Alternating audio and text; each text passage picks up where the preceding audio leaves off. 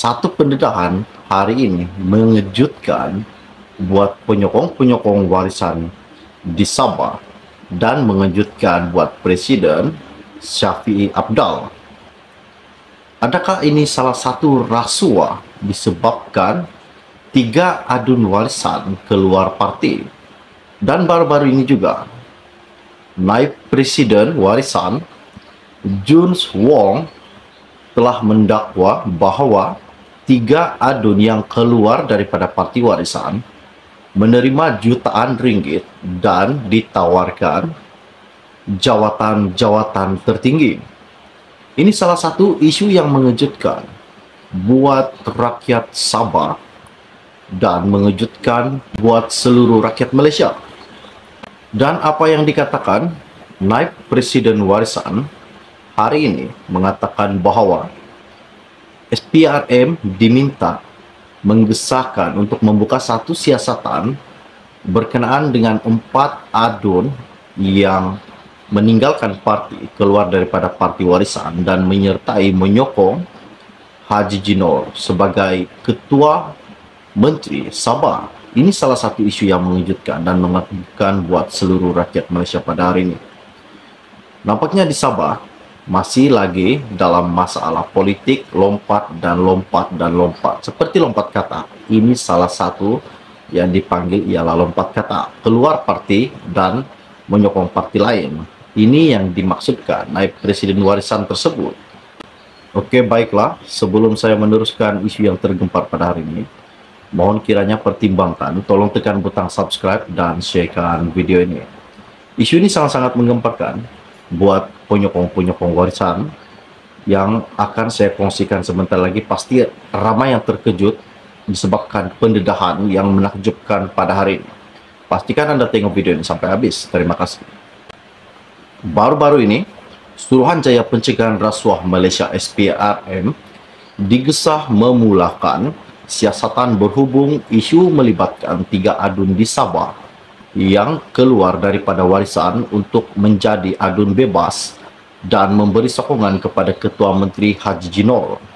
Naib Presiden Warisan, Jun Wong mendakwa salah seorang adun itu sebelum ini secara terbuka mengaku ditawarkan jawatan dan jutaan ringgit untuk mereka keluar parti. Katanya, SPRM mesti menyiasat tindakan melompat tiga YB kerana salah seorang adun berkenaan merakam video pada Jun lalu. Secara terbuka mengakui ditawarkan berjuta-juta ringgit dan jawatan kepada mereka untuk meninggalkan parti warisan. Cakap-cakap mengenai perpaduan hanyalah taktik melengah-lengahkan yang digunakan oleh kerajaan pintu belakang yang diketuai Haji Jinor untuk terus membeli YB kita demi kepentingan politik mereka sendiri. Nampaknya cakap-cakap mengenai perpaduan ini tidak pernah ikhlas dan Wang masih menjadi raja sedihnya dakwa Wong dalam satu kenyataan baru-baru ini.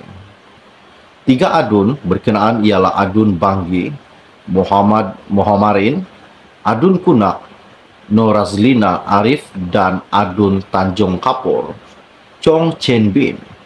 Dalam satu kenyataan bersama semalam, mereka berkata, langkah itu diambil selepas meneliti dan mempertimbangkan semua aspek termasuk hala tujuh gabungan politik di Sabah dan pandangan akar umbi di kawasan yang mereka wakili.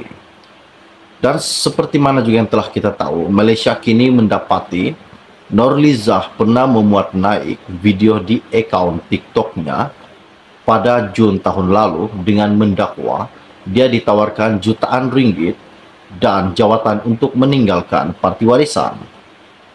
Mengakui berasa teruja selepas menerima tawaran berkenaan, Noraz Norazlina berkata dia masih setia kepada parti pimpinan Syafi Abdal dan menegaskan tidak akan meninggalkan parti itu demi rakyat serta mereka yang telah mengundinya. Sementara itu juga, Wong mendakwa politik Wang di Sabah menjadi punca undang-undang anti lompat parti tidak dibentangkan di DUN walaupun rang undang-undang itu diluluskan di peringkat kerajaan, persekutuan dan beberapa negeri lain.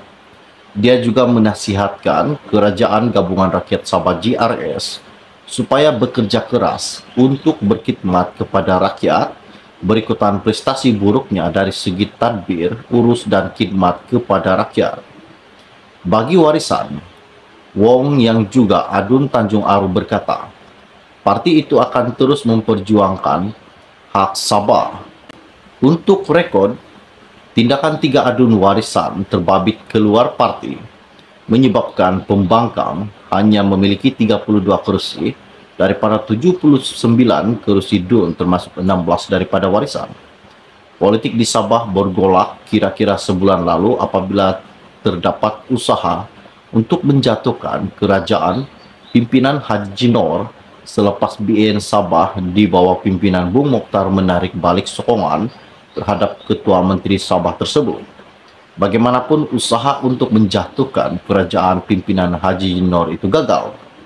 Presiden Warisan Syafi Abdal menafikan parti itu berkomplot dengan BN untuk menjatuhkan kerajaan pimpinan Haji Nor Sebaliknya, mempersoalkan keabsahan Ketua Menteri Sabah itu mengekalkan jawatannya berikutan peletakan jawatannya daripada bersatu. Ini salah satu isu yang menggemparkan dan isu ini sangat-sangat menarik.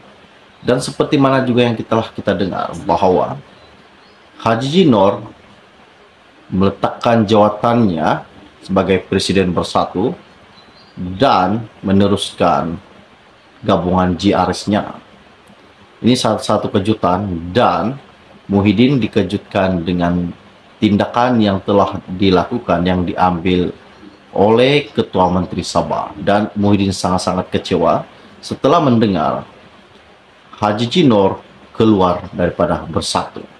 Ini salah satu isu yang menggemparkan dan baru-baru ini juga kita dikejutkan di mana BN telah menarik sokongan kepada Haji Jinor dan cubaan untuk menjatuhkan kerajaan Haji Nor di mana Syafi'i dan Bung Mokhtar bergabung dan banyak cara dan telah mereka lakukan. Dan apa yang berlaku? Haji Jinor kekal sebagai Ketua Menteri Sabah. Dan tidak semua pemimpin-pemimpin ataupun menteri-menteri adun yang menerima sokongan dan mensetujui keputusan yang dibuat Bung Mokhtaradin. Hari ini satu lagi kejutan bahawa tiga adun warisan keluar parti dan menyokong kerajaan pimpinan Haji Nur. Ini salah satu kejutan dan isu yang mengejutkan. Adakah ini salah satu mainan rasuah ataupun adakah ini salah satu parti warisan dan parti BND Sabah bakal dikuburkan oleh rakyat Sabah ini salah satu isu yang mengejutkan. Jadi jangan lupa tinggalkan komen Anda. Adakah BN dan warisan bakal menjadi kerajaan jika PRN 16 yang tidak lama lagi, yang berapa tahun lagi yang kita tunggu akan diadakan. Ini salah satu kejutan buat seluruh rakyat Sabah. Oke, baiklah. Sebelum Anda meninggalkan channel saya ini, jangan lupa bantu saya Tolong tekan butang subscribe dan sharekan video ini. Kita akan berjumpa lagi. Salam jumpa dan salam kenal. Bye-bye.